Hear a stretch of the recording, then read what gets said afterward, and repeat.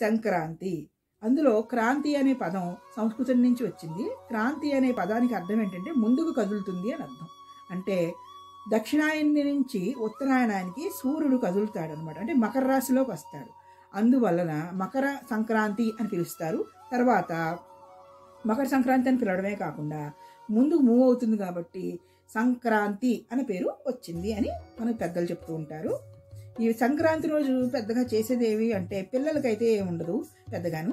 ముందు రోజు భోగి రోజే అయిపోతుంది పిల్లల పండగ అంటారు అందుకే భోగి రోజు. సంక్రాంతి రోజు వచ్చేసి ముఖ్యంగా పితృదేవతలకి తర్పణాలు వదులుతారు చాలా ఫ్యామిలీస్లో కొంతమందికి సద్దినాలు అనేవి ఉండవు అనమాట వాళ్ళు వాళ్ళు ఏం చేస్తారంటే వాళ్ళు పితృదేవతల కార్యక్రమం అని చెప్పి పెద్ద పండుగ రోజు పితృదేవతలకు వదులుతారు. అంతేకాకుండా పెద్ద పండుగ రోజు విశేషం ఏంటంటే చక్కగా అయ్యప్ప స్వామి భక్తులు ఎవరైతే ఉంటారో ఆ మకర సంక్రాంతి రోజు వారు జ్యోతిని దర్శనం చేసుకుంటారు. మనకు టీవీలో కూడా చూపిస్తూ ఉంటారు కదా జ్యోతి అనేది. దివ్య జ్యోతి మనకి అఖండ జ్యోతి ఏదో అంటారు. అయ్యప్ప స్వామి గుడిలో మనకి జ్యోతి కనపడుతూ ఉంటుంది కదా. కొండల మధ్యలోంచి జ్యోతి ఆ జ్యోతిని మనం చూస్తాం అనమాట అఖండ జ్యోతిని మనం చూస్తాం అప్పుడు.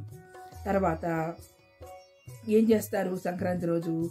మొత్తం పిండి వంటలతో చేసుకుంటారు. తర్వాత ముఖ్యంగా అల్లుళ్ళు కూతుళ్ళు అందరూ వచ్చేస్తుంటారు అనమాట అందరినీ పిలుచుకుని చక్కగా పిండి వంటలతో శుభ్రంగా సంతోషంగా ఉంటారు. అదే రోజు మనం ఇంట్లో పనిచేసే పని వాళ్ళకి కానీ మనకి మొత్తం మేస్త్రీలకు కానీ మనకి సంబంధించిన మన మన- మన వాళ్ళందరికీ కూడా మనం మంచి బట్టలు పెడతాము.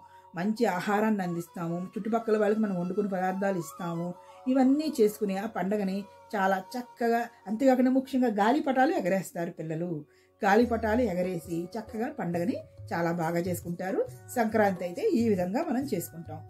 తర్వాత కనుమ. ముఖ్యంగా కనుమ రోజు ఏంటంటే